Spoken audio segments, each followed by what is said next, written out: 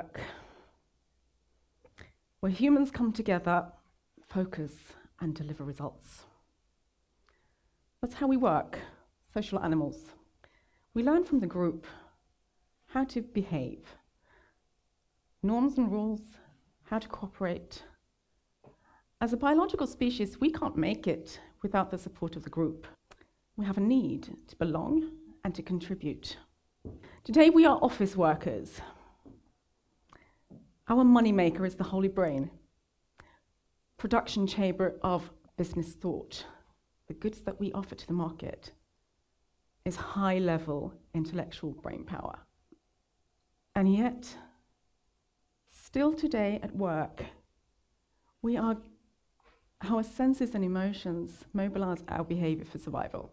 We think we are so sophisticated. We think, think we're so rational.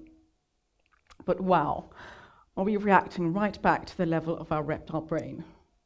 I've been through a few office moves and a few refurbishments during my career, and a few office planning meetings as well.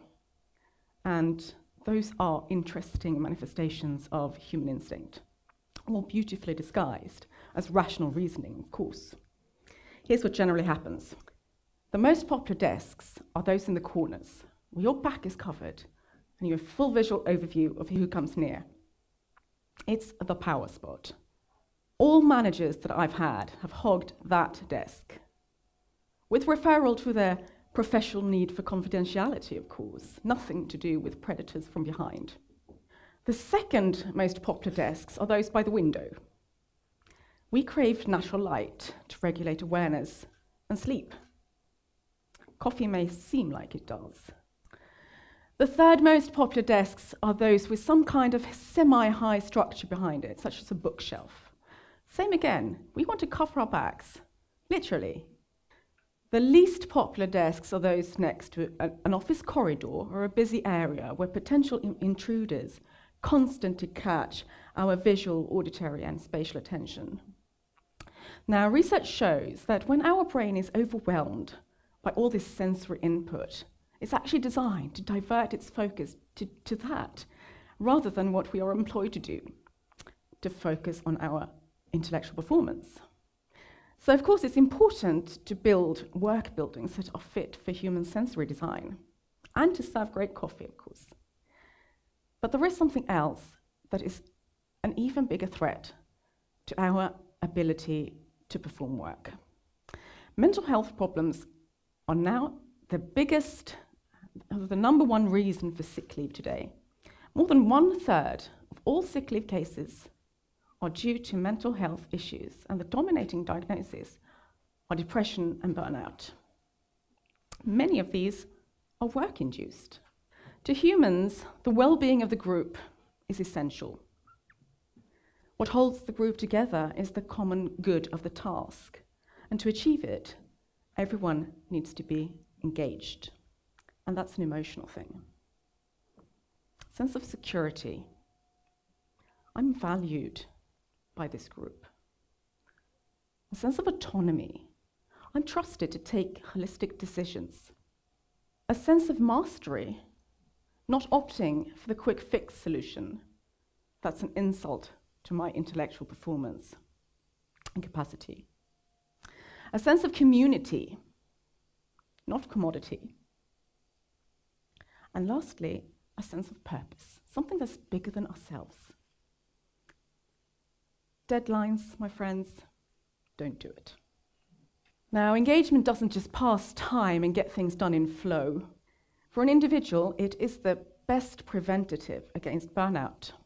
It doesn't give 100% um, protection. We need regular booster injections to stay resilient. Acknowledgement that we are on the right track. Appreciation for what we contribute with. Appreciation for saying no when it's relevant for our sustainability and thereby the sustainability of the group. There's lots of research on the health promoting aspects of living a life that's engaged in something. Aaron Antonovsky coined sense of coherence as a concept for health. Is my life comprehensible? Is it manageable? And lastly, is it meaningful? Meaning, is there a good reason? Is it worthwhile? Is there a purpose to care for? Out of these three, it's the third factor that is the most important one. It's the strongest predictor for health. And it's not just for extreme life situations, it's also valid for that everyday phenomenon we, that we experience as work. So, back to burnout then. Let me state this loud and clear. Research on the etiology of this phenomenon is very clear. The most influential factors for burnout come from organization itself and the social relationships in it. So instead of casting blame and shame on the individual, let's look at the structures that we are part of at work, the relationships that we are part of at work, the stuff that we as individual workers and as humans are dependent on to do our task to contribute to the group. What happens when my framework is unclear, contradicting? What happens when relationships are about fear rather than cooperation? What happens to that protective engagement? It is time to see burnout for what it is. For a social animal, it's a perfectly normal response to an abnormal situation. When an individual burns out, it's actually a failure of the group. Now, the failure could be why we got organized in the first place, how we organize the work, and what consequences that has on my ability to live my work engagement. Work engagement starts already at the business idea. If your business idea is based on profits from stuff that we don't actually need, if your business idea is based on beating the competition rather than offering something good for us all, then for a human, there's actually nothing to engage in. We can no longer insist that we don't know the true cost of business as usual, as we know it. And we know that we are all partially guilty of the global damage that we're seeing. And we know how we financed it with work. So, in light of that, is there purpose to my work? This connection with other humans is encoded in the coils of our DNA, meeting our needs without compromising the needs of others. But we were seduced by opportunities of profit from manufactured needs and bureaucracy for the purpose of what?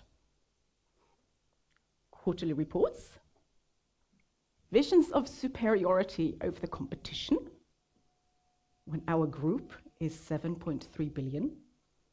How non human. We are at the point where the global perspective of work cannot be ignored, or where the small individual perspective of work cannot be ignored, not even for business. Work is where humans come together, focus, and deliver results. But we need to switch focus. Switch to a human workplace where our sense of community is what can protect us from burnout of ourselves and the planet. That's how we work, really, as social animals. Let's focus on that. Thank you.